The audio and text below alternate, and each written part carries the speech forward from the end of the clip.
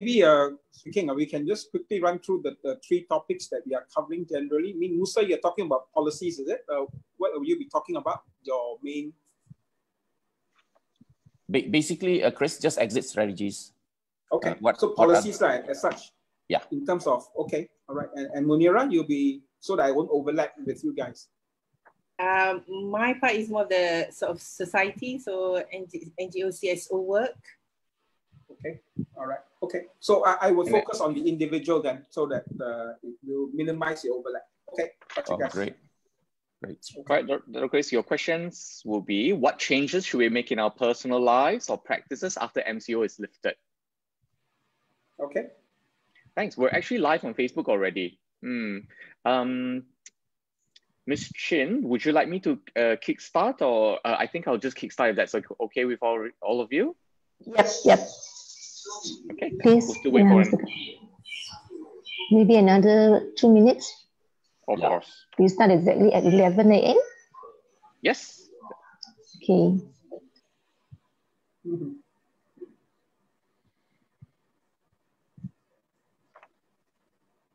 -hmm.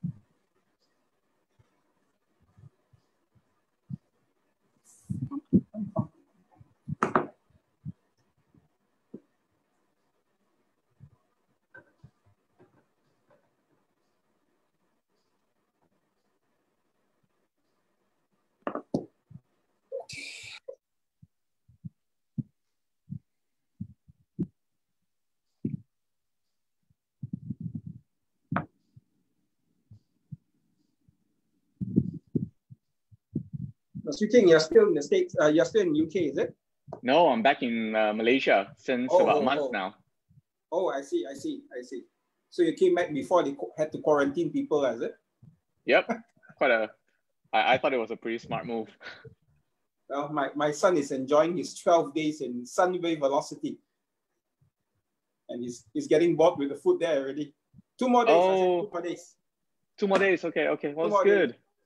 But then she has to come back and taste her mother's his mother's food. That could be more challenging.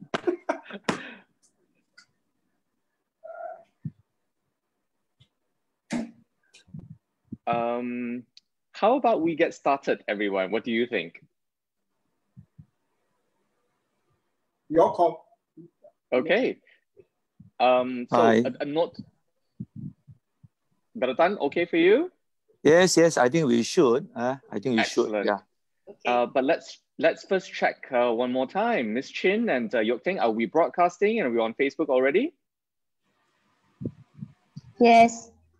Okay, let's get started.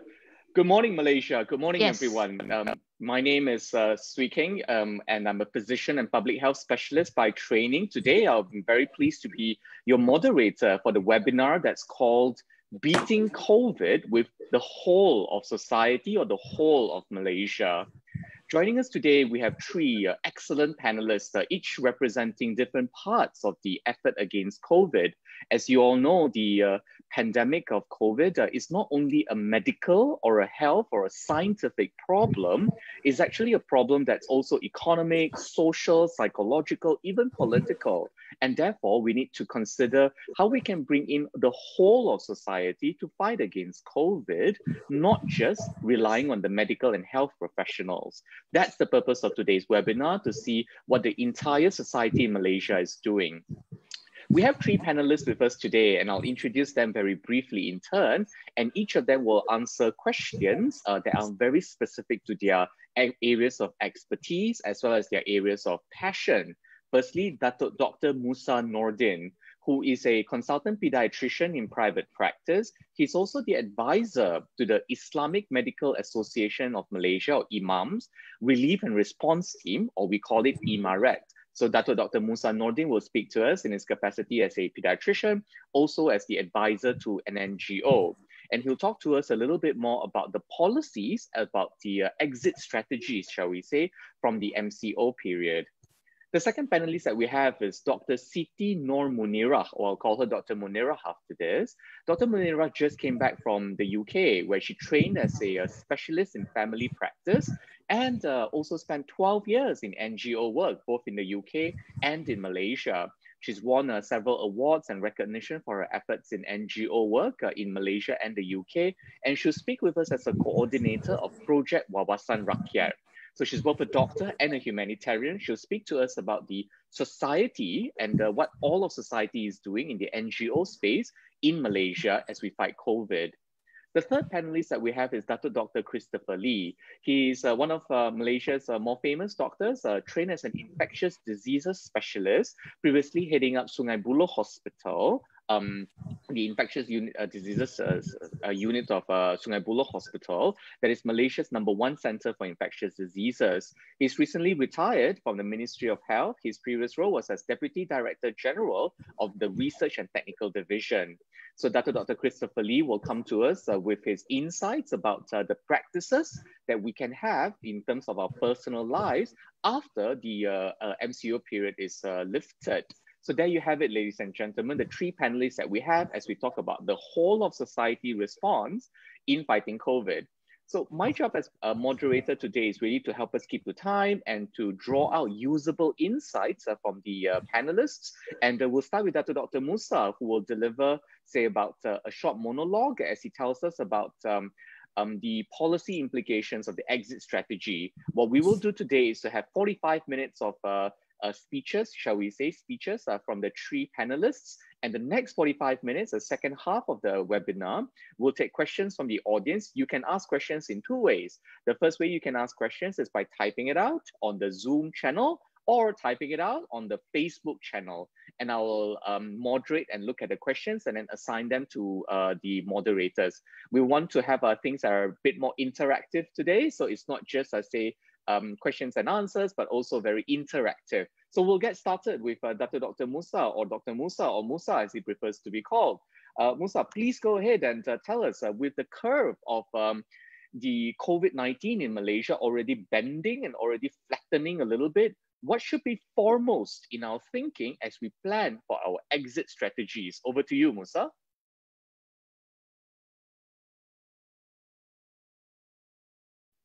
Dr. Musa, you may be on mute. I'm so sorry. Yeah, thank you very much, Swee Kheng. Assalamualaikum, peace and blessings. Uh, good morning and uh, salam Ramadan. Uh, thank you very much, Swee Kheng. Uh, Chris, Munirah, ladies and gentlemen. Just before I kick off, can I just make very quickly uh, three, three caveats? Lah. First, uh, this opinion is mine. it is not IMARET's. It's extremely important, yeah? Uh, I'm responsible for this opinion. Uh, but having said that, these guys in IMARET's are, are, wonderful. They are young doctors and volunteers. They've traveled from Perlis to Johor, Sabah, and Sarawak to distribute PPEs, ventilators, you know, amazing. They spent about 3 million ringgit, which they collected.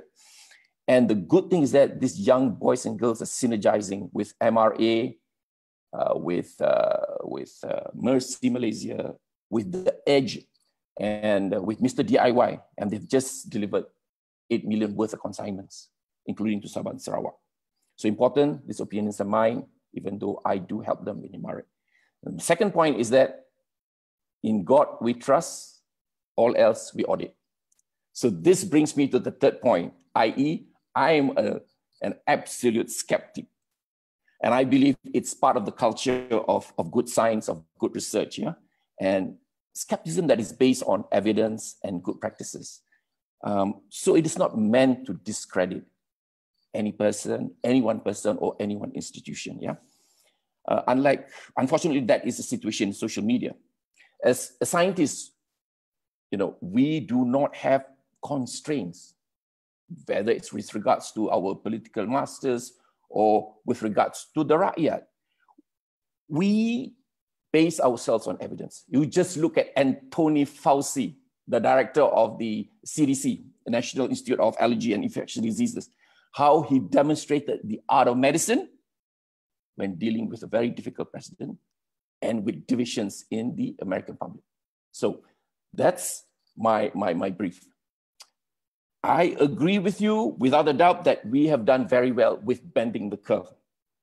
And Touchwood provided no surges, no surprises. We should be now thinking very carefully, very seriously of a safe and, in, in my opinion, a middle of the road exit strategy. What do I mean by this? Not too rapid, that it will invite waves of, of uh, COVID disease, and neither too slow, that it would hurt further the much better economy. So I will summarize my immediate thoughts on three important points. Number one is the first crucial element of a COVID exit strategy is mass testing.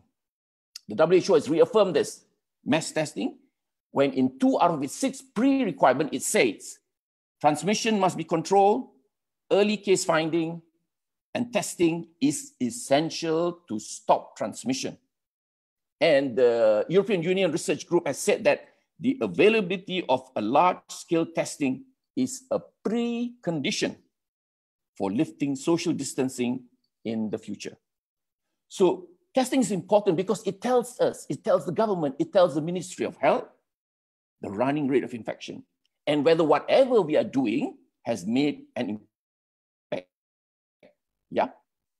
And it enables us to isolate the new cases, trigger tracking, and stop the spread of disease. And secondly, it confirms immunity because healthy immune person can therefore return to work while those who are infected are treated and isolated and contact tracing is, is triggered.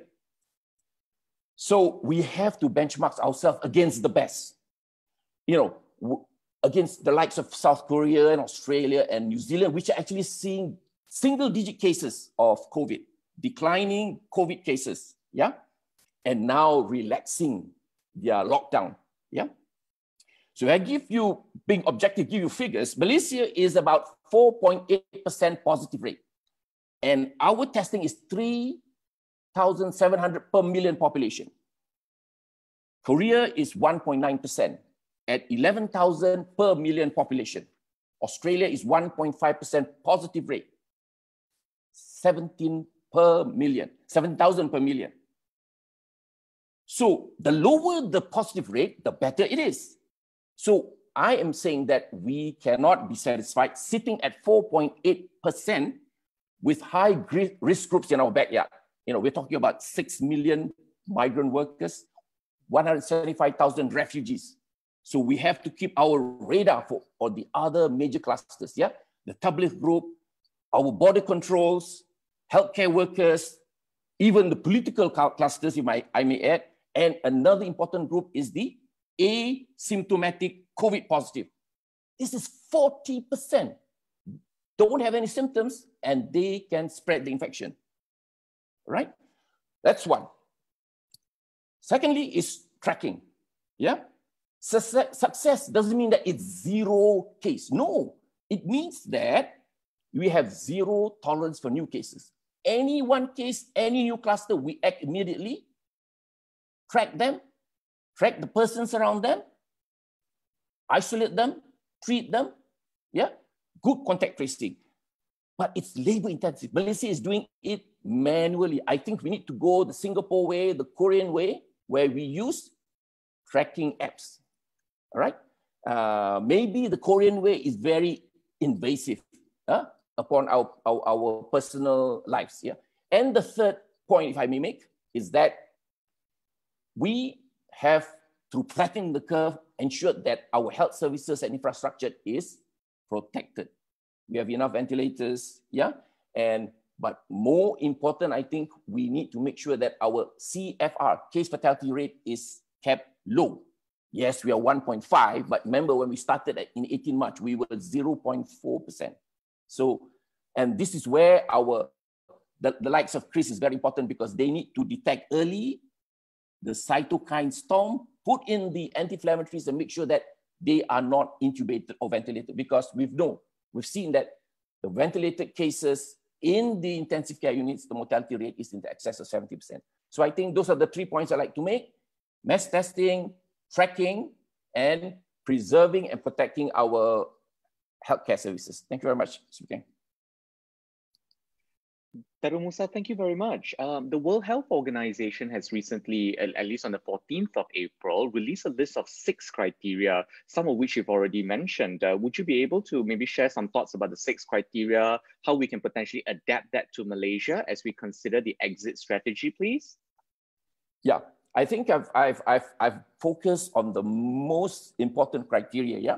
They mentioned that you need to make sure that the cases are declining for the next two weeks, yeah?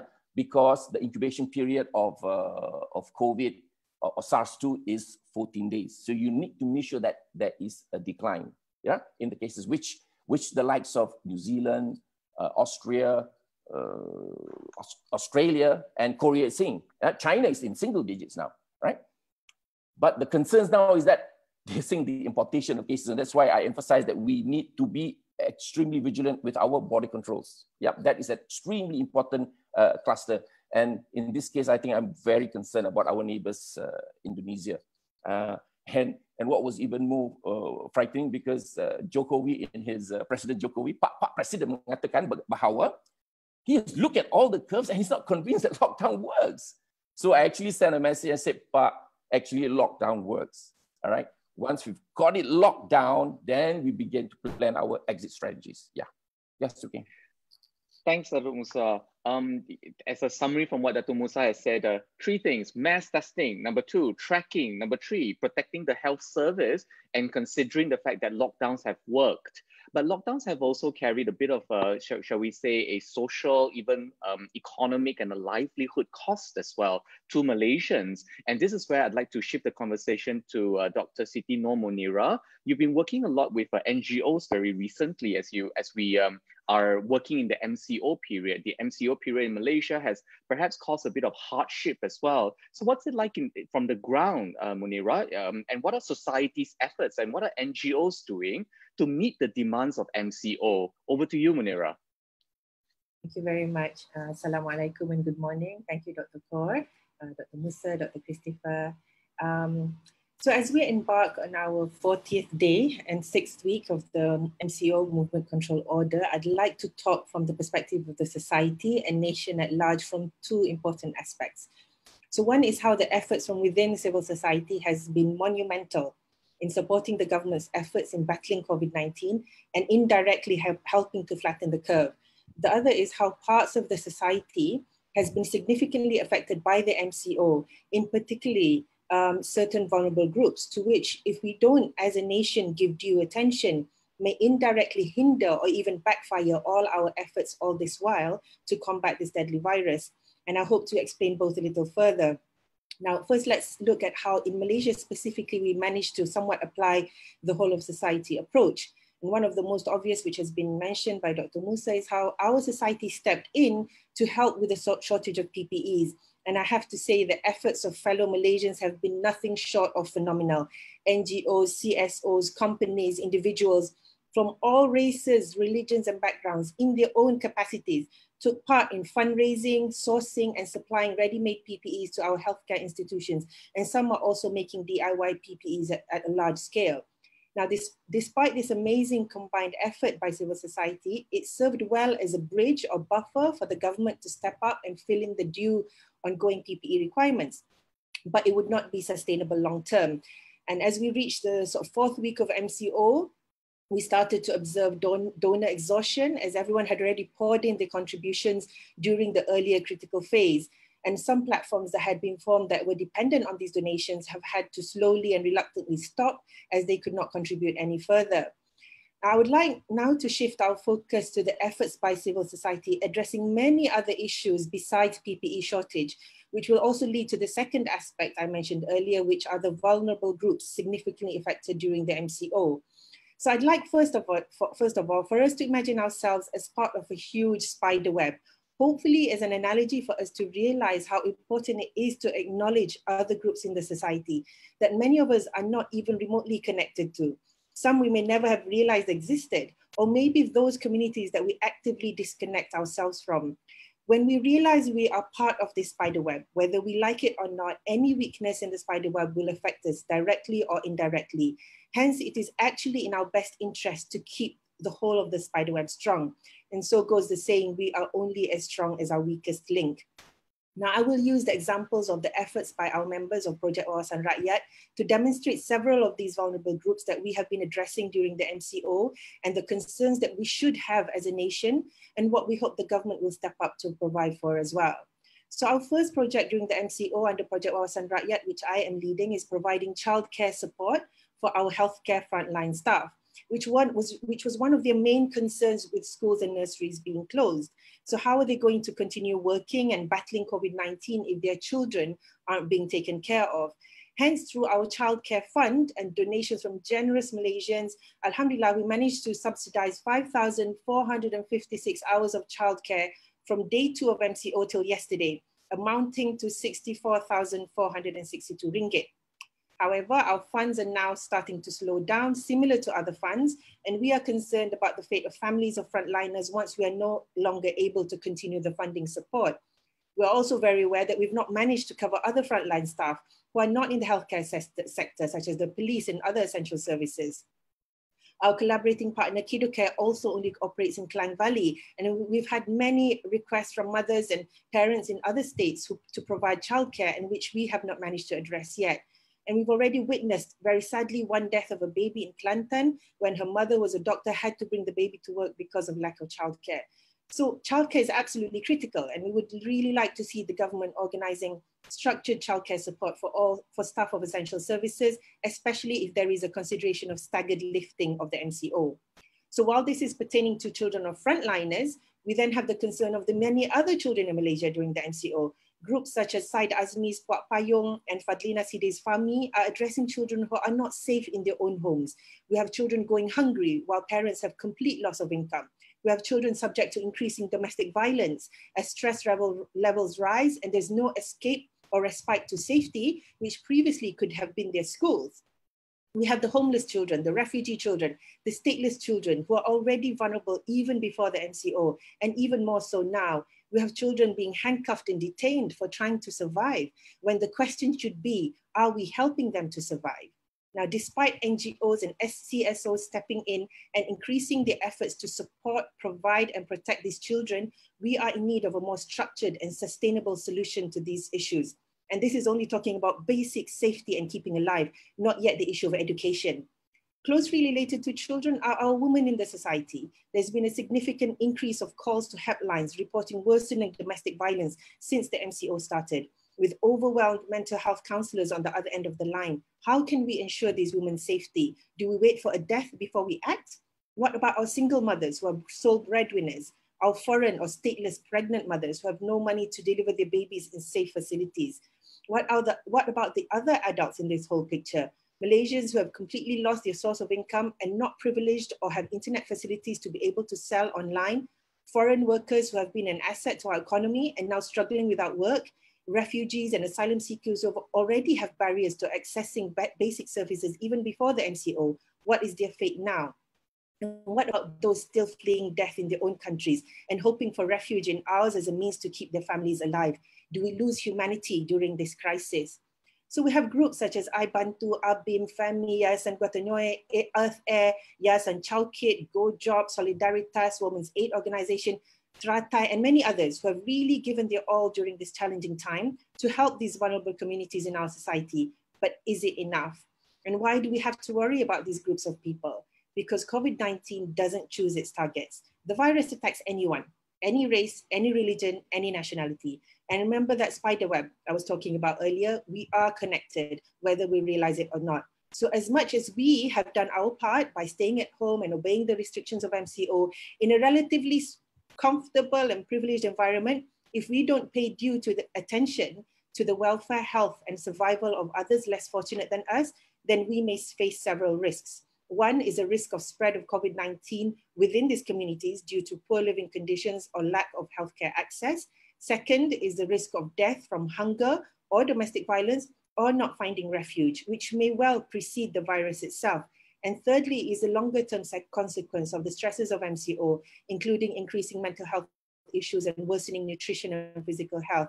So if parts of the spider web break, then our collective strength will weaken and we are only as strong as our weakest link.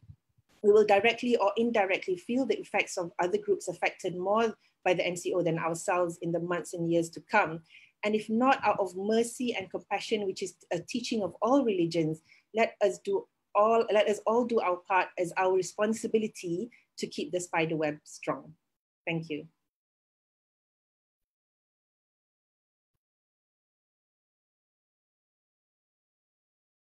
We can't hear you, Dr. Khor. So sorry, everyone. Um, this webinar is brought to you by, uh, organized by the Malaysia China Chamber of Commerce. And uh, you've just listened to Dr. Siti Munirah, uh, who has just described to us the situation from the ground in the NGO space. Um, Dr. Munira or Munira, if I may, uh, you've listed a few uh, vulnerable populations. Let me hyper summarize, yeah? Children, women, um, those with mental health issues, and fourthly, those who are stateless, refugees, and uh, the migrant communities. It's, it's hard to really pick up one uh, among them because all of them are equally important, but allow me to just pick up one of them. In recent days, we've seen some challenges, um, or rather some uh, rhetoric uh, surrounding refugees in Malaysia. Maybe I can ask you a question about non-citizens, yeah? So broader than just the 180,000 refugees, but to talk about migrants in Malaysia, of which there are two to six million migrants in Malaysia and the stateless people. As a group, let's call them non-citizens. What is it that society can do for non-citizens and why is it that we should be doing more for non-citizens in Malaysia, Dr. Munira? Thank you for the uh, question, Dr. Khor. So um, firstly, the, the whole spider web uh, concept, I hope we understand that, you know, they are part of us and uh, looking after them is, is, is essentially looking after ourselves as well. And then secondly, again, as I mentioned, is it, it is a teaching of all religions to be merciful and compassionate for others, especially those who are struggling, uh, you know, in ways that we may not be. But uh, if I were to share uh, maybe uh, my own experience and maybe some of us who have been abroad, uh, where we are the minority in another country. So, for instance, when I was in the UK, where there is, you know, there has there's been a rise in uh, anti-Muslim rhetoric, you know, all this Islamophobia, and I've been on the other end of xenophobia, been on the other end of racism, and uh, it, it is not somewhere you want to be. And it makes it does make you more empathic to the plight of others, and it just takes yourself to be in that position and to understand, you know, that person who we maybe regard as someone else or an outsider is a father, a mother. You know, they have children just as we do, and just to connect on that level of humanity is what will you know, make us uh, more empathic to their plight. And I think we can do it as Malaysians because we've done so much already in our capacity to fight this. It just takes us to take it to the next level and be, you know, take that compassion to other people who are who are struggling. So there are many groups that are fighting for them, uh, and uh, you know, we can all play a part in supporting these groups uh, and ensuring their safety and their health during this time because at the end, it's part of our spider web. Dr. Munira, thank you so much for that answer. Um, if you've uh, just joined us, uh, can I just yes, yes, please, from, policy, from a policy point of view, I think the Ministry of Health has done an excellent job making sure that they are tested, yeah, and then making sure that the ones who are positive, yeah, they do contact tracing and make sure that they are isolated. And the Ministry of Health has not just done this for the refugee population, They've also done it for the overwhelming migrant worker population in Selangor Mansion, Malayan Mansion, and CT1. This is brilliant. I think we have to give credit, you know. And this, this, these are the vulnerable population that we must we, we must identify. And I was in, in Selangor Mansion and Malayan Mansion on uh, about two weeks ago. And we provided all of them without fail food, three meals a day. Yeah to, to all the migrant workers, but some of them were very, very hesitant to come down because it might be nabbed by the, by the police or the army, all right? And to the, to the 37 levels and 42 levels of CT1, we were providing for them with them uh, uh, uh, uh, dry food for them to cook. So I think from that perspective, the government and the Malaysia, Malaysia, uh, Ministry of Health has done brilliant. Thank you. Thank you, Musa. That's that's indeed very true. Um, if we look at the case of Singapore, for example, there will be some, uh, say, a spike in recent cases due to the migrant population. So Malaysia's MOH, or Ministry of Health, is indeed learning from uh, other countries in terms of policy prescriptions. If you've just joined us, uh, this uh, webinar is on beating COVID with the whole of Malaysia. It's organized by the Malaysia-China Chamber of Commerce. We've heard from uh, Dr. Dr. Musa Nordin, or Musa as he prefers to be called, uh, about the policy prescriptions, about how Malaysia can fight COVID from Dr. Siti Noor Munirah, or Munirah as she prefers to be called, uh, about the NGO uh, view of things and how we need all of society to protect vulnerable populations. So we're talking about uh, beating COVID rather with the whole of Malaysia. And this is where I pivot the conversation to Dr. Dr. Christopher Lee and uh, infectious diseases specialist. Um, Christopher, if I may, um, you, you have a, a, tremendous insight into, say, the personal practices uh, of uh, human beings and citizens of Malaysia. What are your thoughts, Christopher, um, about uh, the personal and professional, or rather even practices yeah, in our personal lives that needs to change either during or after the MCO? Christopher, over to you. Right. Thank you. Thank you. Um, first, uh, I just want to add something to what Musa had said earlier. Uh, in my opinion, the MCO has clearly worked. This is not surprising. I think most countries, if not all countries that have imposed some form of MCO has shown benefit at the other end of, of the whole operation. Basically, all this is dependent on one main principle. It is a form of enforced social distancing. Uh, now, even as we lift MCO, and I'm quite confident it will be lifted in stages, exactly what Musa has said earlier, uh, the important thing, the principle of social distancing won't go away. That's why what Musa mentioned about testing is so important now, so that when we do lift the MCO, we are not doing it in the void or doing it blindly. We have some data to fall back on. We have more confidence in lifting the MCO. So testing, of course, is extremely important.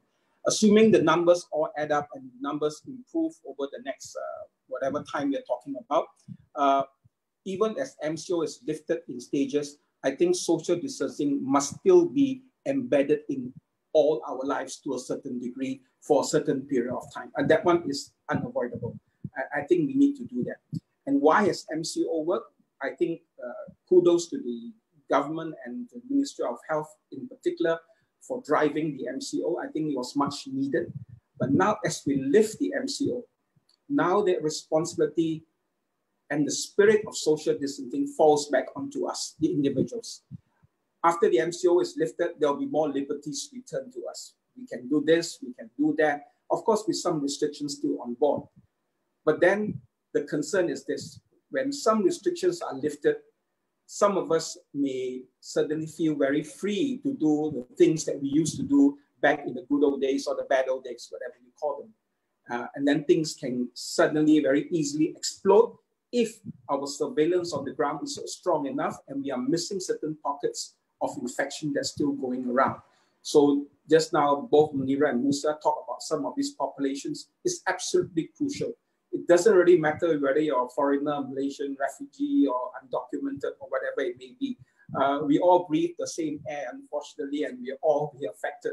Uh, when the boat sinks, all of us will sink together. Uh, so clearly, we need to put all this in place. So uh, today you have asked me to talk about uh, what an individual or a family unit can do when the MCO is lifted. At the end of the day, we are probably millions of families put together to form one country. So each in family unit or each individual will have a role to play. And so I'm going down to the very basics uh, of what one can do. And I guess we can divide uh, our lives into three main areas. One, of course, is our own personal life or family life at home, what we need to do to keep our family going and, and integrated and carry on with the function of a family. The other major part of personal life is work related. When the MCO is lifted, more and more of us will be returning to work. And I think this is something that many of us are concerned about. And thirdly, uh, social events. Human beings, we all we are all very social people. We, we, we all now miss gathering and coming together, having meals together, gossiping together, whatever it is. Uh, and we all enjoy that to a certain degree, and we miss that.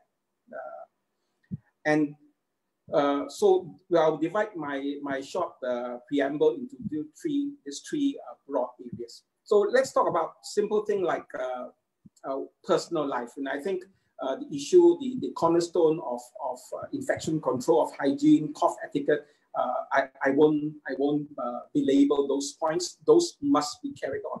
I hope Malaysians have learned this time and not did what we did during H1N1. During H1N1, all of us were very obedient, uh, cough etiquette and things like that. But once H1N1 went flew off, uh, we didn't seem to be so concerned after that. And that is a worry because this COVID-19 is going to last for quite some time. We know that. And at the end game, I think likely it will be linked to the effective vaccine if and when it comes along.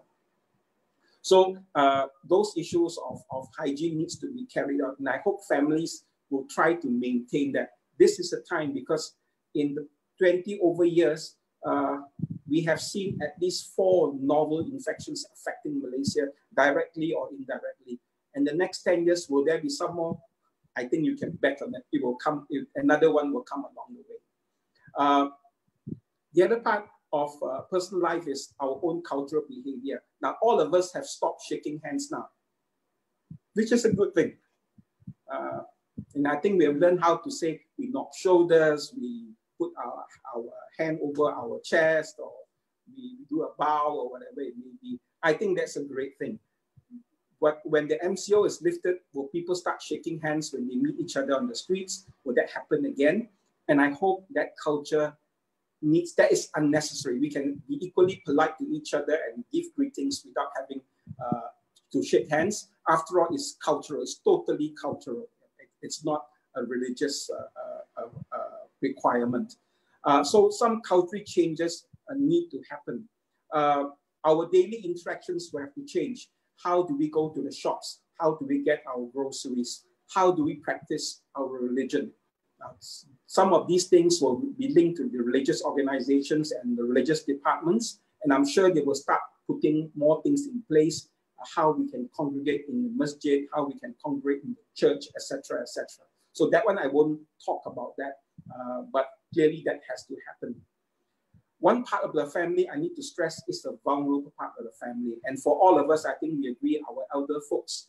Uh, I'm careful when I say that because I'm joining that I, I have joined that ranks already. So you have to be nice to me and also maybe Musa. Musa still looks so young, but uh, we yeah, have to be careful. Mas, eh? Our old, yeah, we have to have with our, our older folks, um, and we have to focus on that. For example, if your if our elder parents or grandparents don't have to go out uh, during the next, even an MCO is lifted, I think that's a good thing, or minimize their exposure going out.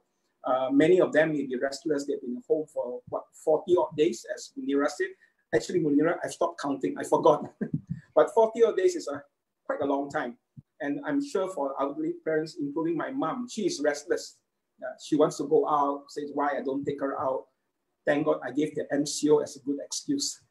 But they'll be restless. And we need to focus on them and make sure that they are careful. Especially, I think, not forgetting many of the older folks who live on their own exactly what Munira mentioned. They may be in the smaller towns, they may be urban areas, maybe even the kampungs, and they got to go out to get food and get the other necessities. So I hope families, especially if we are far away from our parents or grandparents, we must not forget them because they carry a much higher risk.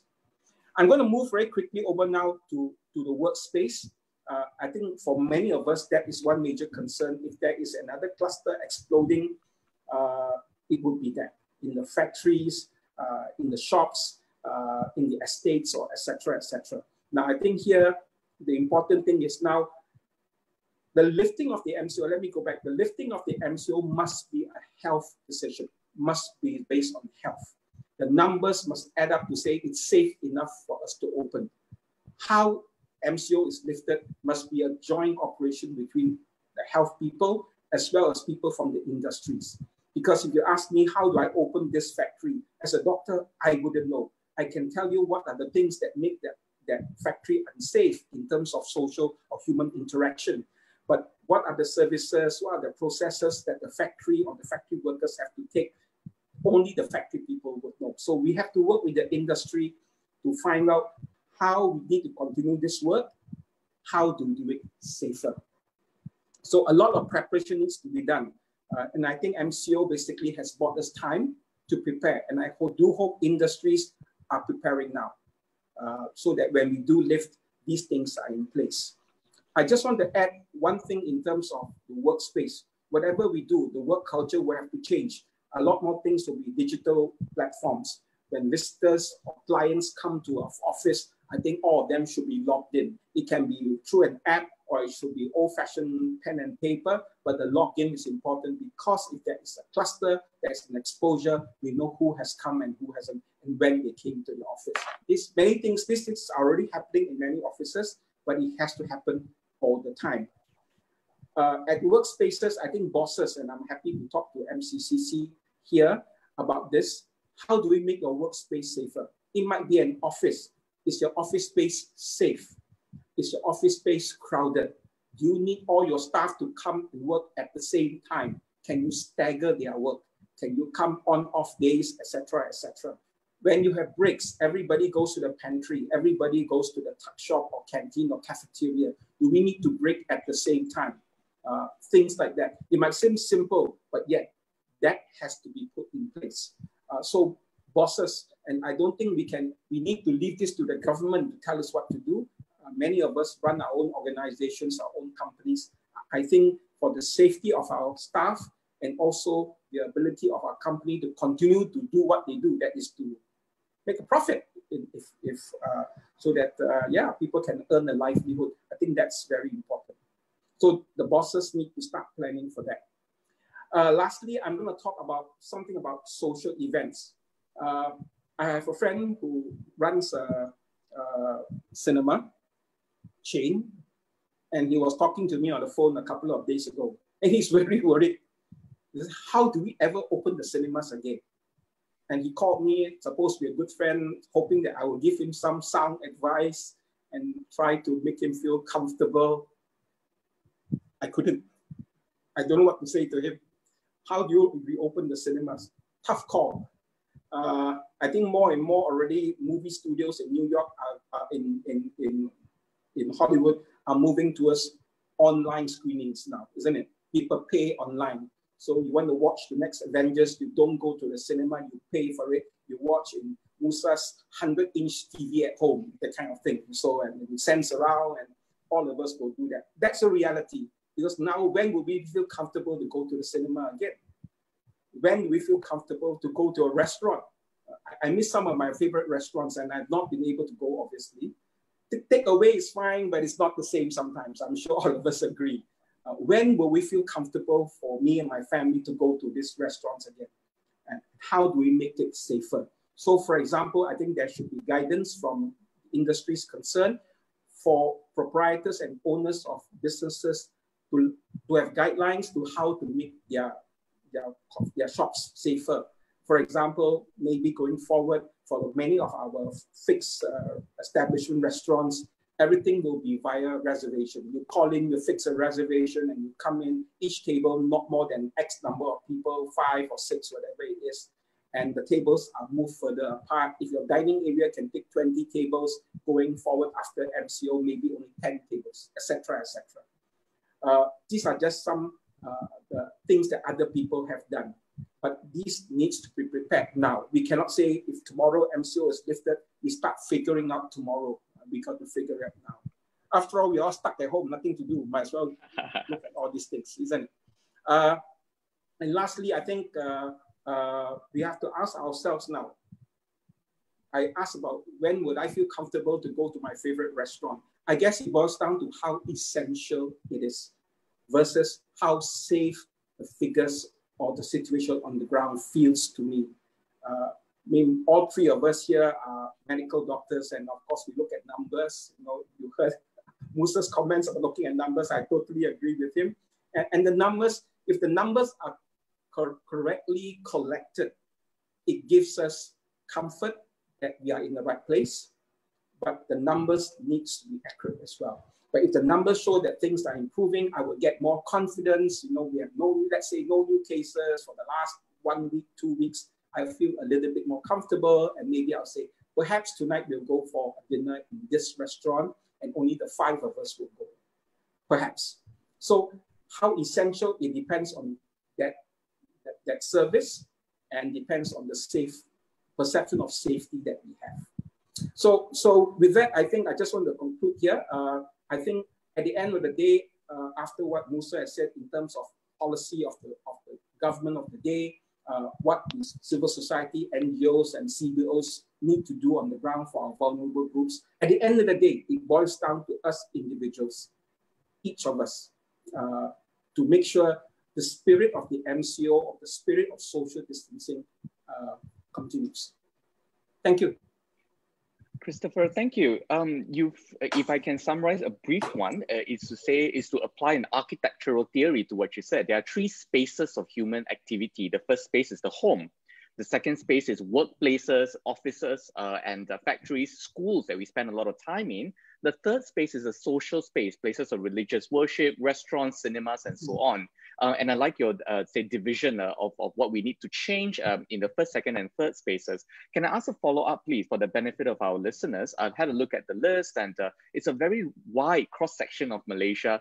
I suppose many of them are in the private sector what suggestion might you have for them or what requests will you make to them so that they can help the government craft rules for their specific industries? Because like you mentioned uh, it's difficult for us to specialize in say uh, in electronics factory. So given the broad range of participants what requests would you make to them? Well i, I assume and here is assumption because i'm not privy to some of these discussions industries especially those that have been earmarked to be lifted i think a few weeks ago there was a list of certain industries that are being earmarked um, so I think it is the time. I am. I hope they've been doing it even before this. The industries involved have been talking uh, with the ministry concerned on what needs to be done. There must be input from the health professionals in terms of safety on what uh, the, so that the spirit of social distancing and hygiene is put in place.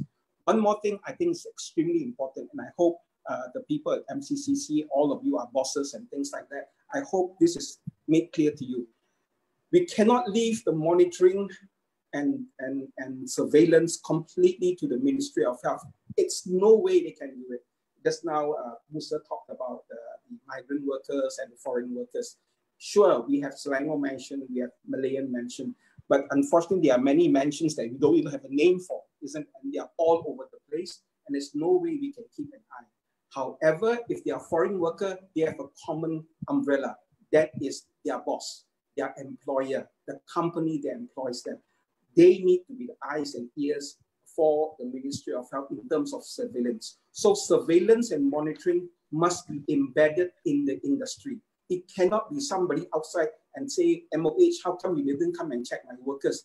There's no way, and I'm not trying to defend my previous employers, but it's just not possible. It has to be inside our own company. If it's my company, my company has a cluster of, of workers who are infected, I will have to stop my work and I will lose money, isn't it, at the end of the day. But however, if I monitor myself, if there is an infection, I pick it up early, minimize the cluster, I can get back to work faster. So it's, it's uh, there's self-interest in that.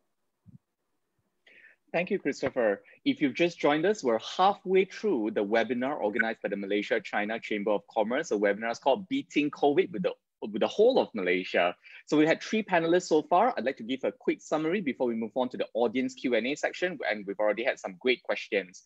Um, but before that brief summary for the audience listening in, if you have questions, please uh, type them out uh, on two channels. Number one, into the Zoom channel at the very bottom of your screen. There's a Q&A button, so you can type your questions over there. Or if you're viewing on Facebook, uh, please go ahead and type your questions on Facebook as well. This is a request to the audience. Uh, if you're listening in and you have questions, uh, ask them digitally. As a brief summary, uh, Musa, uh, at the very beginning, or Musa as he prefers to be called, uh, spoke to us about the policy implications to exit MCO, namely three, testing, tracking, and preserving the strength of the health system. What Dr. Munira, uh, or Munira, she prefers to be called, uh, coming from the NGO side, she's told us about protecting vulnerable populations, the children, the, uh, the women, the elderly, also non-citizens like refugees and the stateless. And uh, Dr. Dr. Christopher Lee, the third panelist, uh, fresh off his role as Deputy Director General of Health, spoke to us about personal practices that needs to change uh, after the MCO period and also the duty of employers, also the self-interest of employers in ensuring the safety of everybody there. Um, there as in uh, their, uh, the people that they're taking care of, I apologize for that. So uh, we're going to go into the audience questions right now. We have a few audience questions already. I'd like to group them into perhaps three broad categories, yeah?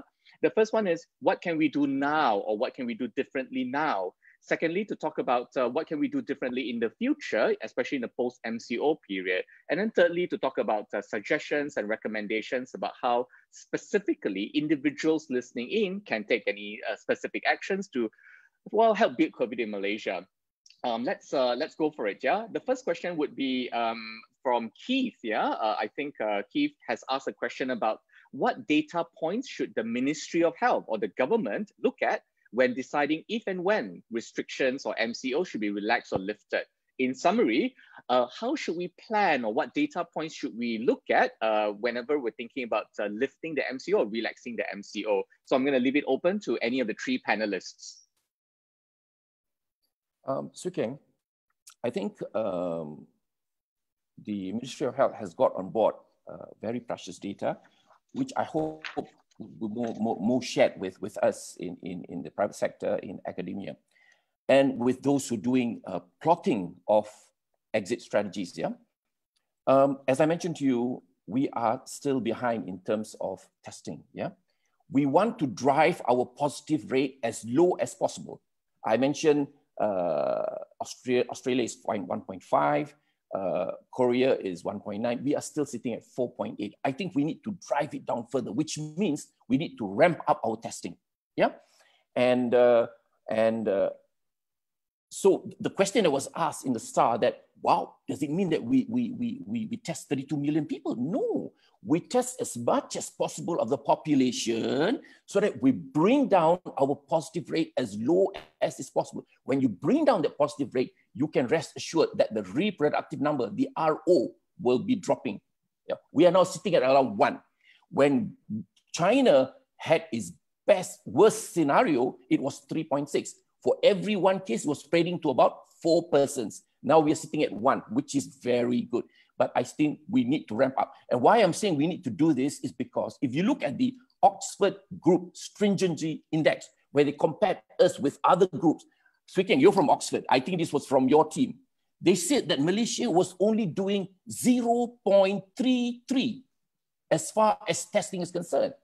Australia was doing one. South Korea was doing one. One is maximum. So really one third. So we need to ramp it up at least three times. Okay. Uh, this is very controversial, uh, but I think that's my point of view. And secondly, I think uh, the index that's, uh, that's extremely important is tracking, right? We're now doing it very manual, very labor intensive. You know, the, the Singaporeans, they have 70 contact traces and they got the F, the armed forces to help them with another 1300. I'm not sure what the numbers are in Malaysia. We really need big numbers, but with app tracking, inshallah, I think we can do much better. That's what the South, the South Koreans are doing. They have, um, they look at your, your, your, your, your credit card reports. They look at your GPS. Where have you been? You know, it is very invasive, but they get it done. You know, if one person is COVID positive, it sends an alarm to all the guys outside him, and everyone who's been around him is notified. That's brilliant, isn't it? So I think Singapore is going that way, but the uptake is only 25%, not good enough. You need something like a 60% uptake for it to be really, really uh, uh, effective. Yeah. And Singapore has got a brilliant app and it's actually open access. The government can, can access the app. We don't need to reinvent the wheel. Yeah. But I know in Selangor, they're already using an app and all the frontliners are using it. So if one frontliner is infected, he doesn't have to remember the guys who were around him for the past 14 days. The app will tell him And his other friends will know whether they were in contact with him, so they can be traced, they can be uh, uh, uh, um, investigated, and if positive, they can be isolated. So I think if you look at the tracking on the Oxford Stringency Index, Malaysia is only 0.5. We're only halfway there. Yeah. So I think that's the index that, that the questioner is asking about. So Oxford has done a brilliant job of putting us on the scale. We're actually doing very well in terms of percentage. We are something like 86%. We've done well in all the other cases, you know, closing school, closing uh, shops, you know, uh, not allowing guys on, on trains and all that. But this too is our sore points. We need to sort it out ASAP.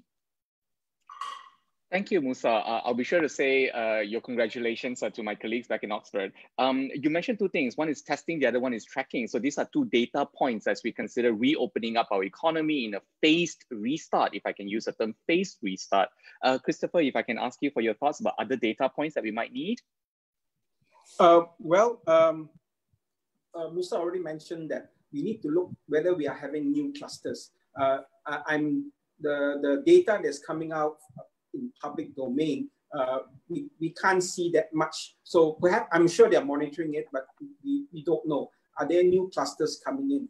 Uh, I'm sure uh, there are some new ones coming. Perhaps they are small and they are closed off quite uh, quickly, hopefully. But one area I'm particularly worried, and this is because I'm an ID physician, uh, we've been pushing for this uh, surveillance or screening of all SARI cases uh, severe acute respiratory infections, basically a pneumonia. Anybody who comes with a pneumonia, I don't care whether you went overseas or didn't go overseas or, or whatever, you know, but as long as you have a SARI admitted to any hospital, whether government or private, uh, you be, will be tested, provided that, that test. Now, uh, the other area is the ILI, the influenza-like illness. Uh, if you go to certain clinics, uh, you might be swabbed. Now, this is surveillance, so they don't swab everyone, but randomly they swap some of these. Now, that is locked in in the ministry's database. I know that for a fact. And I'm concerned because in the last uh, 10 days or eight days, we still saw about 20 over SARI cases ILI around the country. Uh, I'm just a bit concerned whether we have looked into this number, where are they coming from? I'm making the assumption because most of the red zones in the past, in the last week or two was in Selangor, I assume that these SARIs came from the communities within Selangor, but I could be wrong. I, we don't have the data. Uh, but what does that mean? The unlinked cases or these uh, uh, un, uh, unlinked cases or cases or sporadic cases that the public health people use that term. Uh, the problem is we don't know how they got it. Mm. And that means it probably reflects community transmission.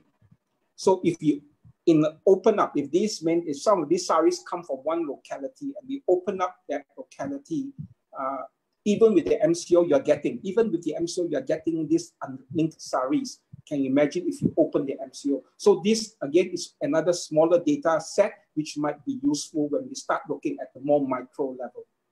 Uh, Chris, if I can just jump in, yeah, you know yeah. these unlinked cases, yeah, that's one major cluster. This is what's described as sporadic. Yeah, my gut feeling are these are asymptomatic positive COVID, and that's why I am suggesting that we should do like we do for influenza. We do what's called sentinel surveillance. We have various sites in the country where we randomly test them, and you can find, you can bet four out of ten would be uh, sorry. The, the, the, the in the positive cases, there, there are about 11 data sets so far available that's reported 40% are asymptomatic. They are silent, they are carriers, Absolutely. spreading disease. This is worrying. Yeah? And, and this was the concern among the Singaporeans that they have these sporadic cases, and many of them were due to the silent carriers. The second cluster that I think we need to address is the healthcare workers. This is a growing concern. Why do I say so? because we look at the experience in Europe. One in 10 doctors and nurses is COVID positive. That's in Spain and Italy. In, uh, in Iowa, in the United States, one in five doctor is positive for COVID. Worrying, isn't it? And in, in Newport, I'm just, Cardiff is about 20 miles away where I studied. In Newport emergency room, emergency physician, one in two is a COVID positive. So the danger here is that the doctors may be either acquiring it from the patient or the doctor is giving to the patient. So the, the hospital becomes a hostile COVID environment. So I think we really, so that's why in the NHS in the UK, virtually every doctor is now screened. Yeah, that's the move now. In fact, this some of them are actually doing it every one to two weeks. So I think these are two classes that we need to, to look out for. Well, to be to be some of the policies, and I, am not defending anyone here, but some of the policies that we have now is linked to the access to testing. I'm sure you would agree because we can't test everyone yet. We are focusing on certain groups, but I'm sure that will be ramped up, especially among healthcare workers. You are right. Uh, we are seeing more and more healthcare workers getting infected, and and it's even from the hospital. It may not be directly from the patient. It's sometimes in the rest areas we interact with one healthcare worker to another. In fact, the worry, the one that I worry the most, and my daughter is now serving on the COVID ward in Seremban.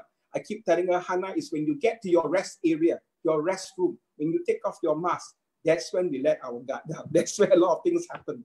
Uh, but Musa is right. I think they will be get they will be testing more and more.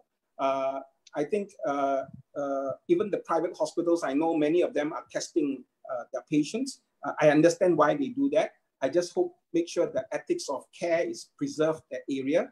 Uh, the other thing, of course, if you are testing patients to make sure the hospital is safe, we also may have to consider testing healthcare workers to make that same hospital safe because we are also a conduit for infection. Uh, just to add a point to what uh, uh Musa said about the surveillance, uh, Ministry of Health has started the IL surveillance, as I mentioned before. IL, but now I think if you're focusing on asymptomatic, we may have to look at people who do not have ILI and screen them. Uh, I'm sure we can find uh, some way of collecting this data, and that would give us a lot of confidence whether the average Malaysian walking around out there could be infected with COVID or not.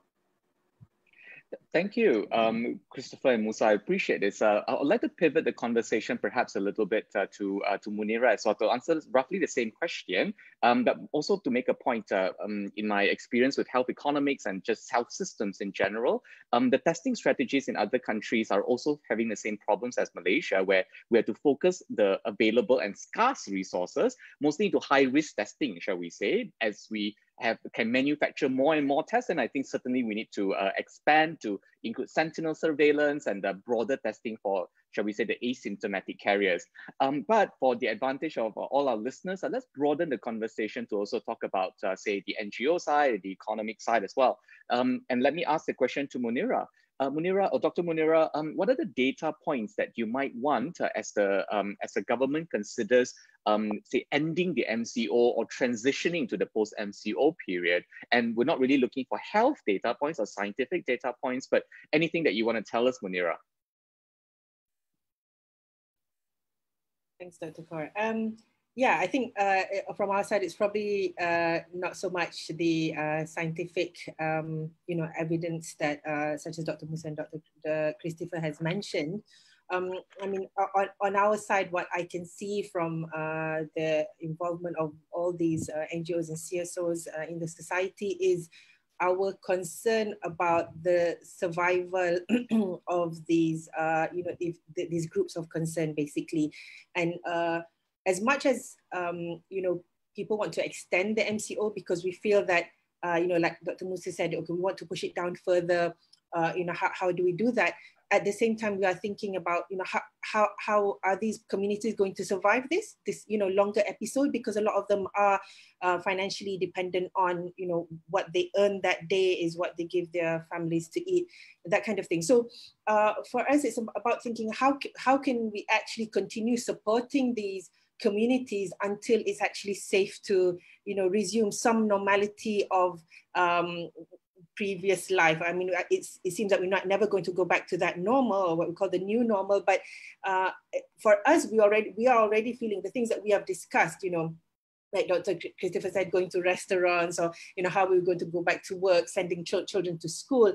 But for these uh, vulnerable communities, it's maybe not even, you know, it, it is really basic necessities, keeping alive, uh, being safe, having food uh, to eat, um, and not being, you know, caught by the police for being stateless, for, for instance. So, uh, you know, data points are like uh, out of the picture. It's like uh, keeping these these people alive. So I think, in in our point of view, um, the more support we can get to continue uh, providing for these communities, which becomes our responsibility together, the more we can uh, um, help to keep the, the social distancing, the, the MCO lifted in stages um, so that you know everyone is safe. Um, but yeah, specifically, so, so for us not to ignore these, these vulnerable groups, basically. Munira, thank you. Um, I'd like to ask you a follow-up uh, um, question, which is a, a, question from the audience as well that I'm repackaging a little bit, yeah? Uh, and we'll start with you, Munira, if, I, if we can. Um, on one hand, we need to protect lives by the MCO and social distancing and keeping people at home with lots of restrictions. On one hand, we need to protect lives. On the other, we need to protect livelihoods and the economic restart of Malaysia to ensure that Malaysia doesn't lose 2.4 billion ringgit a day because our economy is shut down. We need to ensure that people are protected economically, also socially. Lives on one hand, livelihoods on the other. Both are equally important. The, the question now to the panelists, uh, beginning with you, Munira, would be how do we balance lives and livelihoods? Um, it, it's a very, uh, I think that's the big question we have to ask. Um, and uh, it, it's going to be very difficult for all of us. Um, I think as long as both are definitely as, as equally important. Yeah, we have to protect lives, we have to protect livelihoods. Um, I think what I would like to create awareness about is, you know, for all of us to be aware about the people who are struggling, uh, you know, due to this MCO uh, but also how to keep them safe. Like Dr. Musa mentioned that, that you know the government has made an excellent uh, effort in making sure these communities are tested, but we also have the communities that didn't receive that information. You know, so we do we still do have pockets where maybe we are not reaching the the testing capacity, or whether they're not even aware. Like um, uh, interestingly, this uh, last question where you know how can we uh, ensure people are, are, even aware of the social distancing of, um, you know, once we start being um, uh, more relaxed with the MCO, starting to open, uh, you know, uh, services, uh, I think one of the big issues that we've faced uh, that has been a challenge is a basic principle of honesty. And I would really like to, to raise that issue because um, I think that uh, our honesty has been uh, tested at, a large scale this time, you know, with people not coming forward to be tested. And that comes from men, you know, not just certain clusters, even from doctors or families of doctors. Um, and, and this is something that we really have to be, we have to pay attention to if we are going to move forward. For instance, if we start uh, allowing people to move within the the one state but not cross borders? Are people going to be honest and not cross the border? Do you know what I mean? So all these things, and um, I think uh, those are the, the, the the preparations that we have to be, uh, you know, uh, ready to put forward, but also to spread the information within not just the communities that we are comfortable with, but to other communities that may be not, you know, directly connected to us, but will be affected if we don't do this in a in a structured, organized manner, protecting lives and also livelihood at the same time. Thank you, Munira. Can I pivot over to Christopher for your thoughts about how to balance lives and livelihoods? Okay. Um, I think this balance is extremely important, as you have said. Uh, but because we are lifting the, the, and when we start deciding what to lift first, I think number one, we need to lift industries that are really driving the economy uh, of the country. I mean, we have many different industries in different sectors. Some sectors are very minor, some sectors may be major. We, I, I, from the economy standpoint, I can understand why they look at the ones that's making the most money for the country. I understand that. But we can identify that quite easily. We know what industries bring money to our country. The second question we have to look very carefully is how safe is it to open this? Now, certain industries can be not very physically interactive for example. Let's say, I don't know, telecommunications perhaps, you know, uh, it may not need people to physically interact on, on a very frequent basis or very close proximity type of interaction. Uh, and so it might be easier, and I'm here, I'm just conjecture, I, am not a telecommunicationist, uh, but it might be easier to open this industry uh, because in terms of safety from issue of, of, of COVID, it is safer. However, certain industries like service industries, uh, uh, it might it will drive some part of the economy, but the interaction needed to run that service is closer. I'm not trying to make fun of anything, but let's say the barber shop that we talked about a couple of weeks ago, right? Uh, the last time my barber cut my hair, he was pretty close to, to me. And uh, of course, uh, uh, he would be worried about me and I would be worried about him, obviously. Um, so my hair is kind of long. I can see Musa also long hair now, you know. Uh, but we live with it. It's not so essential. But yes, the barbers are not making income. I get it. I get it. But unfortunately, to run that service, you need to be fairly close together. Uh, so based on divide, separating essential, the comparing the essentialness uh, of this service plus the risk, uh, I think it weighs very easily. It's probably too risky to go first. Let's do it later down the line.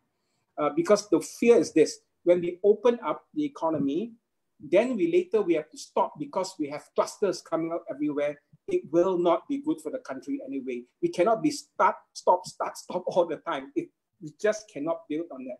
I think the country has to gradually open and confidently, as we open more and more, the data tells us we are in the right track. We are more confident to open even more after that. So it has to be that direction. It cannot be stop, start, stop, start.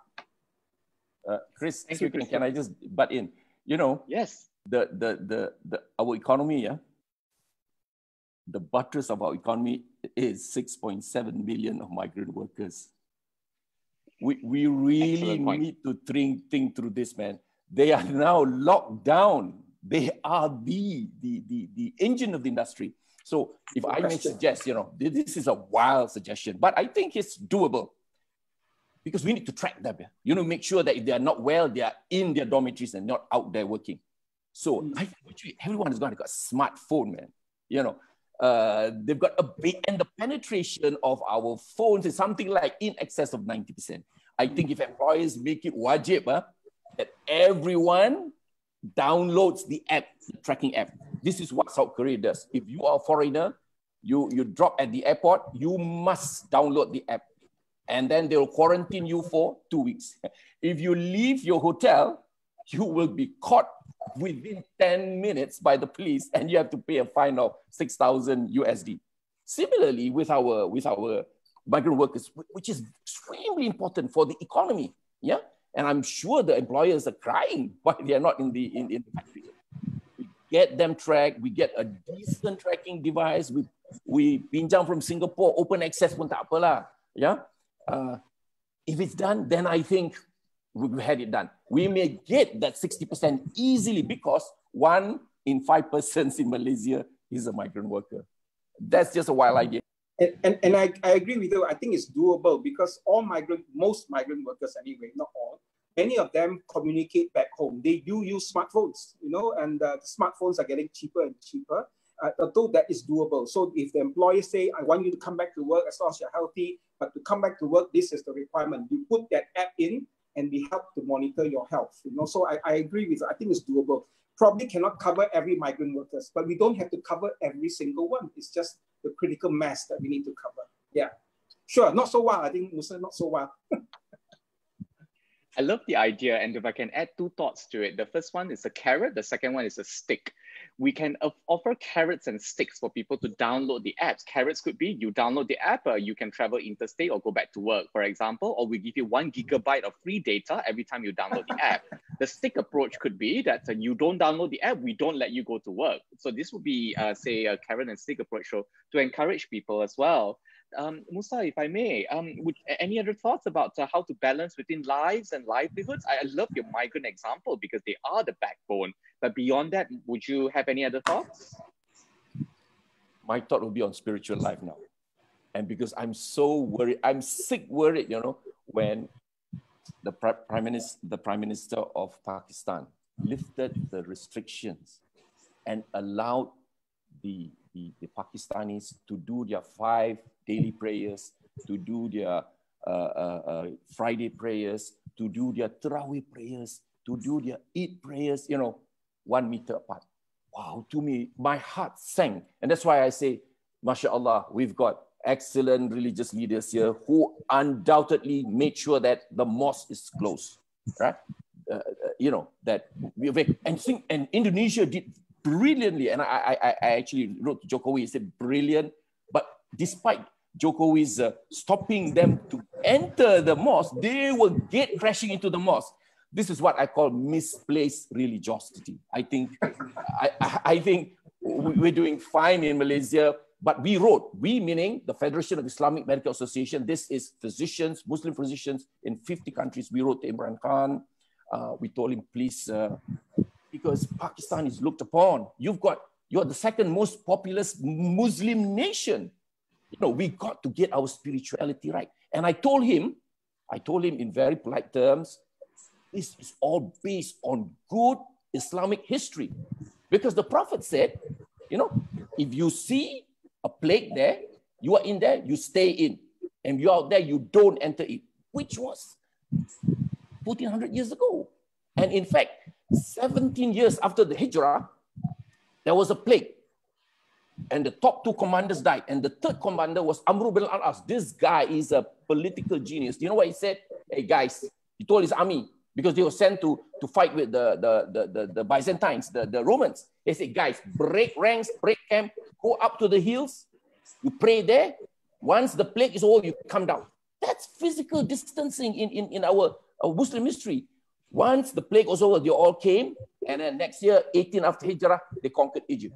So, so I'm telling the likes of Joko and, and, and our great leaders and the scholars that this physical distancing, the closing of mosques, you know, the, the, the stopping of azan is based on our Islamic legacy. So that's for spiritual health. Wallahu alam. Thank you. Terima kasih, um, Musa. Um, the question was, how do we balance between lives and livelihoods? As a short summary of the answer, honesty, communication, transparency, all that is important if we're going to balance lives and the livelihoods. Secondly, to talk about uh, opening by industries and by sector based on how essential they are, and then building in health expertise to make sure that we can control the risks. Number three, taking care of the migrant population because they are the backbone of the economy. We need better solutions for migrants. It could be testing, it could be apps, and so on. And fourthly, um, not only balancing lives and livelihoods, but I guess uh, physical lives and spiritual lives, if I may, Musa, uh, just to say that uh, this is a very difficult balance to strike. Ladies and gentlemen, if you've just joined us, we're um, 15 minutes away from the end of what I think is a great webinar. We will end at 12.30 uh, p.m. There's a number of questions coming in right now. Unfortunately, we won't be able to answer all of them. I do want to give some space for the panelists uh, to summarize uh, two minutes at each at the end of the webinar if it's okay, right, uh, we will go on perhaps uh, for uh, Christopher to begin the answer to the next one and then to, to Musa and then to Munira. Uh, it's a question about what can other ministries do um, and with ministries and agencies, right? Because a lot of the emphasis is a lot about say government, uh, sorry, the Ministry of Health, but we're not uh, really thinking about other government agencies. So if you could specify one or two government agencies uh, that you think uh, could participate in the uh, fight against COVID and what can we do or what can they do more specifically? And then we'll end with a question later after this round about a question about what can the, the participants in this call do. So let's begin with a specific non-Ministry of Health government agencies. What can they do? And if you can be a bit more specific, that would be really really appreciated. Christopher, if we can begin with you, your thoughts about other non-health ministries given your previous role as Deputy DG of Health. Right. Uh, well, I think in my mind that uh, all the ministries are important, but okay, since you only let me have a few minutes, I'll talk about two ministries that I have some immediate concerns about, which I think they have to have a very big role. Uh, that, of course, one, one of them is the Ministry of Manpower and Labor, because they look after all the workers basically under one group. Uh, I know they come from different industries, but this is at the end is also a worker safety thing. And I think the Ministry of Manpower can put in some general overarching guidelines to tell industries these are the guidelines, the generic guidelines that you must put in place. For example, I've been talking about this uh, embedding the monitoring surveillance system in the company or in the organizations. To me, that's the only way forward uh, uh, that we have to monitor our, the health of our staff. So put that, put that in as a worker safety uh, requirement. And then each different industry can look at the details. For example, if you're making you're involved in the rubber industry or mining or whatever, the, the processes are very different, obviously. So uh, the individual industry has to work out the details. At the end, it must be with the input of the public health or infection control specialist to make sure it's safe. The other second thing that comes up frequently, especially among some of my neighbors, they said uh, when they open the schools, I don't want to send my child to school yet. Many people say that. Um, the kids are quite happy not to go to school, at least their kids anyway. I noticed that. Um, and they're always worried. I'll say, no, no, must go to school. They are very happy when I say, I, I understand. Uh, but schools have to look into it. And I'm sure they must have been doing it. I, I hope so. Uh, but I think we have to make sure this is understood. And this is a time to share with parents when the schools open. The schools cannot be closed forever, isn't it? When the schools open, this is the way we will do it. This is how we monitor. These are the guidelines we will put in place. This is the changes that will happen in the timetabling of your school, etc., etc. Certain activities may go, but certain activities may change on a different platform, perhaps. But I think why is putting out these guidelines now important? It gives people confidence. We've got a plan.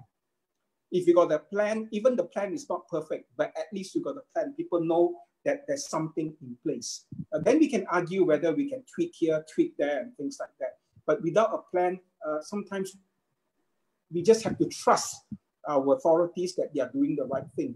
Uh, but all of us are skeptics a little bit like Musa. La. Musa is one extreme skeptic, okay? Uh, Musa is angry at me. Uh, but all of us are skeptic to a certain degree. So I, I think it's important to be able to show a plan and then people have more confidence in reopening as well.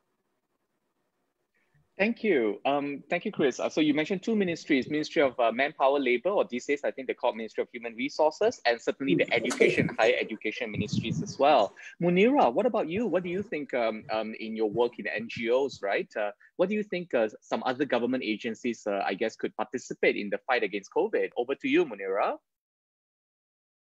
Thanks, Dr. Khor. So I think if we uh, go back to the groups that I mentioned, probably um, uh, we're talking about the uh, Ministry of Women and Family, uh, you know, to look into the um, protection, the, the, the basic necessities of children, um, especially in, you know, communities that um, are struggling financially. Um, and uh, those, you know, basically children should be protected regardless of whether they are Malaysians or not, so as long as they you know, in our country, we, we, we need to be giving them the basic rights of at least, you know, food um, and ensuring their safety. So, uh, you know, I really like to see steps being taken to ensure that um, these children are safe at home. Uh, those experiencing domestic violence have actually a safe place to go to, uh, including the mothers as well. Um, I know there are many uh, helplines being opened, but um, yeah, how, how much of it is actually, how many of these women and children are actually being protected at this moment in time. Um, you know, we have, like I said earlier, children being handcuffed and, um, and, and being interrogated for, for trying to survive this period. And whereas we should actually be thinking of why is this child having to go out and find, uh, you know, food to eat. So uh, I think if we could do that, then that would at least, again, like I said, if we protect the vulnerable communities, then we can actually prolong the MCO longer because we know these communities are being protected. And then at another level, if we're talking about education of these children, then, uh, you know, uh, uh like Dr. Christopher was saying, you know, that our children don't really want to go back to school. Mine don't either, but I'm really struggling, you know, educating them at home while working from home. Uh, but at the same time, you know, we are the more privileged where we actually have, you know, smartphones, internet, computers where they can, you know, do their online learning. But we really need to think in terms of Ministry of Education, what about the children who don't have internet access? What about the children that, you, you know, how, how are they going to get their education?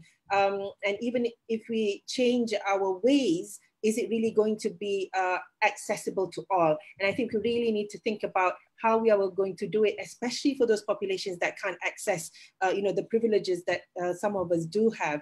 Um, so, you know, specifically to women and uh, women and children, and also the uh, Ministry of Education in addressing these issues. Thank you, Munira. Um, over to you, Musa. Hey, thank you very much, Kheng. My, my answer is very simple. The Ministry of Finance yeah.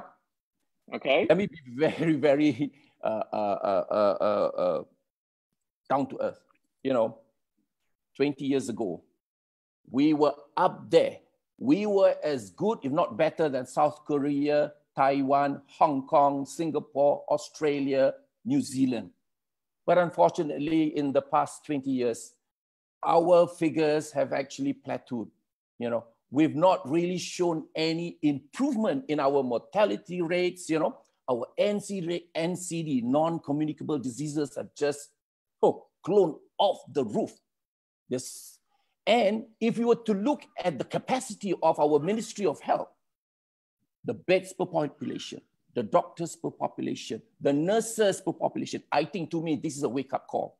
And in fact, when, when, when, when we were Uh, advising the previous minister, we had a look at all of this data and we came up with a national health reform, yeah, whereby we suggested there should be restructuring and towards non-profit corporatization and towards healthcare financing. These are issues that affects all of us because health is an investment. And said, therefore, this COVID is really a wake-up call. And I hope the Ministry of Finance would really consider making sure that we get the due amount from our GDP in terms of rehabilitating our Ministry of Health.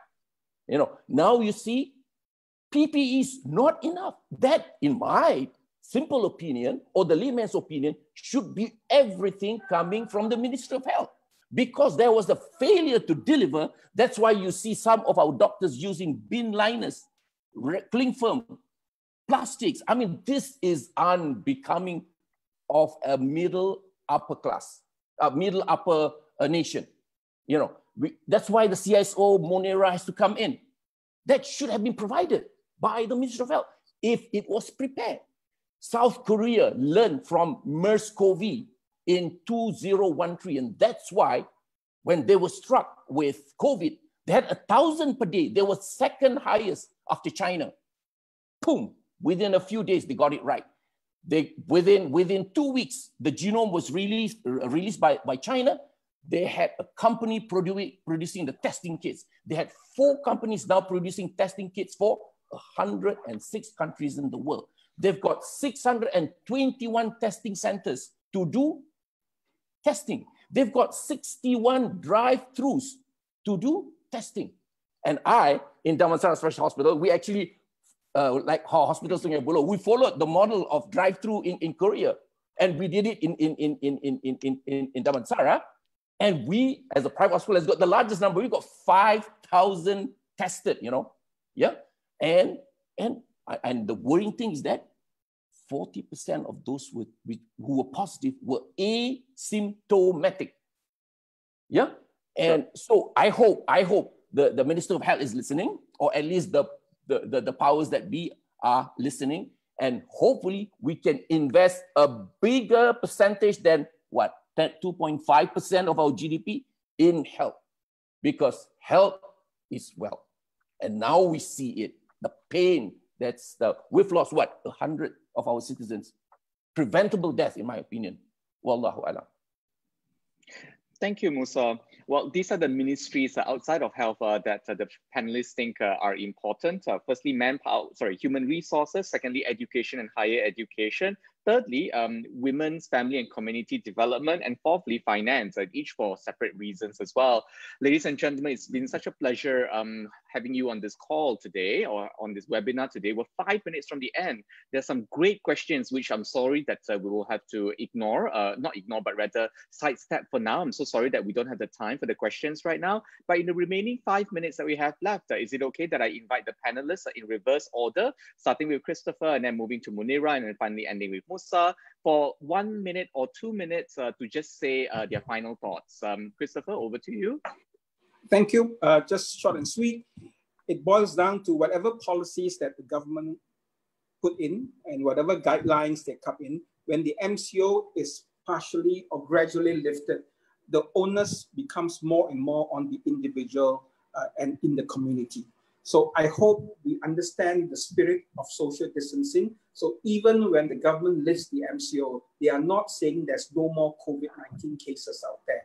They may be, and they could be asymptomatic as what Musa has said. So therefore, we still need to apply the spirit of social distancing and hygiene. So really, when the MCO is lifted, is really on us.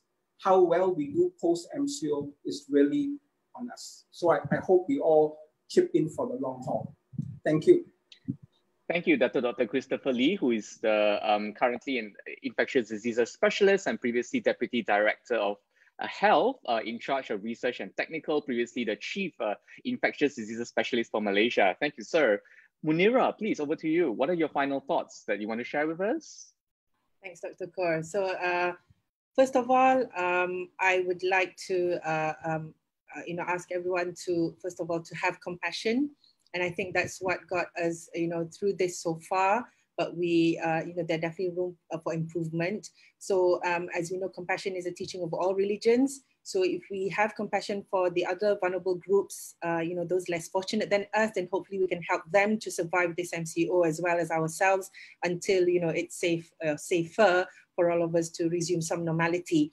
Um, number two, uh, being part of Project Wawasan Rakyat, which is a platform for youth, uh, I would like to, you know, invite all youth to be creative and innovative in how to uh, not just survive but also contribute during this time.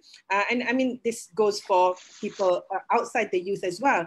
But uh, I mean, just as an example, which is very small, um, the things that I've managed to do during the MCO, which is you know four, four or five projects, have all just been being at home with with uh, you know a phone and internet connection, and and those are very small compared to a lot of efforts by other people. But what I'm trying to say there's, there's so much we can do even from within the home. So get involved. You know, think of something that you can contribute to, even if it's one thing. Every if everybody does everybody does one thing, we can all make a difference. And um, number three, and the final point is remember the spider web. So if we uh, imagine ourselves as one point in that spider web, we're actually connected to four strings, yeah, if we're the point. So one, think of our family, make sure our family is safe, like Dr. Christopher said, make sure you, if you have elderly parents, people who can't go out or are uh, maybe at risk of getting, uh, you know, more at risk of getting disease, then we provide for them. Then the one of the strings should be our um, friends and neighbors. You know, if you are in a neighborhood, find out if there's anybody struggling, you know, go, help them help them get groceries or financially or whatever. Um, the third one should be if we are employers, think about our employees. How can we ensure their, uh, you know, livelihood during this time? And also when we start lifting the MCO, how, how can we ensure the, you know, testing and, and that kind of thing? But also including our faith communities, because in Malaysia we are very much, uh, you know, close to our faith communities. So uh, in that realm as well, to see who else needs help. If we are okay, look out for other people. And the final and fourth string is everybody else, is everybody else in society, including the vulnerable groups. So even if you just choose one group to help, uh, especially during this month of Ramadan, you know, where uh, as Muslims we believe that the more we give, the more we will get. Uh, and it's not, uh, you know, one minus one equals zero. It could be 10 minus one, you could get a thousand. So uh, uh, keep giving. And in that, we hope that, uh, you know, God will provide for all of us uh, so that we can safely get through this difficulty together especially so for those less fortunate. And in their suffering is uh, our responsibility to think of think to think of that as well. And so hopefully, uh, and part of our hashtag Project Wawasan Rakyat, we are definitely stronger together. Thank you. Thank you. Um, Musa, if I may, um, let's uh, let's end with you um, with your thoughts, your final thoughts, please. Thanks, Sukri. Um, two final thoughts. One is medical. The second one is social. The medical thought is basically COVID sounds or has been so morbid, eh? Um, but let me reassure uh, our colleagues, Malaysians, 80% of those who get COVID are well, okay? They're asymptomatic, right? Mild, okay? It's only the 15% that are severe that needs to be hospitalized and another 5% that's critical that needs to be in an intensive care unit. So uh, let's take care of each other. But the other reassuring thing is that this is most recent data. By seven days, you can move, uh, you can COVID, you would have got the antibodies. But we need good levels of antibodies to be protective. But the thought is that, and this is uh, Paul Nichols from, from, from, uh, from Hong Kong, the founder of SARS-1, he said that uh, the, the, by, by, by, by seven days, you've got the neutralizing antibodies that will protect you. And then the worrying is that, but the worrying thing is that many people say, oh, you can COVID, you can get again. But that's the exception, is not the rule. Most of them who get it will become protected for a good maybe one year, maybe two years. We mm. don't know. Yeah.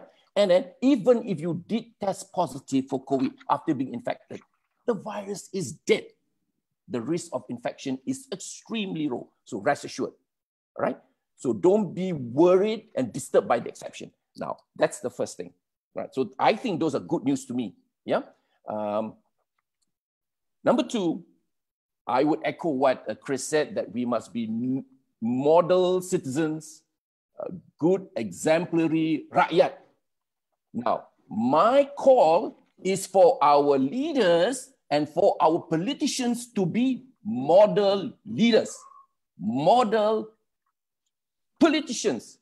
When we call for self-distancing, it's not just meant for the rakyat, It's meant for you at the top as well. And if you show a good example and they see you in our television sets, inshallah, they will be model rakyats as much as you are model leaders and politicians. Wallahu alam. Thank you very much. Uh, that was Dr. Dr. Musa Nordin, consultant pediatrician, also advisor to IMARET, speaking in his personal capacity. Before that, we had uh, Dr. Siti Noor Munira, who is trained in family medicine. She's a specialist in family medicine, and uh, she comes uh, to us from the NGO world. Um, in summary, individual responsibilities and your duties as a citizen. Number two, compassion and caring for other people as much as you can. And on the final, hopefully more positive and optimistic note, uh, is to say that this is not as bad as we imagine. So some of the medical facts and the statistics imply that this could be something that we can win. On that note, uh, ladies and gentlemen, this is the webinar brought to you by the Malaysia China Chamber of Commerce called uh, beating COVID with all of Malaysia. Uh, please join me virtually in uh, thanking our, uh, our panelists. So thank you very much again, Dr. Dr. Musa Nordin, Dr. Siti Munira Ibrahim, and Dr. Dr. Christopher Lee. Uh, we will see you again at the next webinar. Thank you very much. Bye-bye.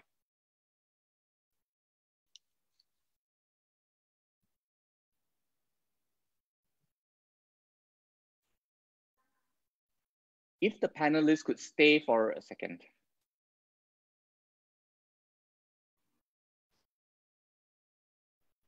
We stop now? Oh. Yeah, I'm still online. Oh, oh thank you, Dr. Musa. Um, Yok Ting and Miss Chin, uh, just to check, are we still broadcasting?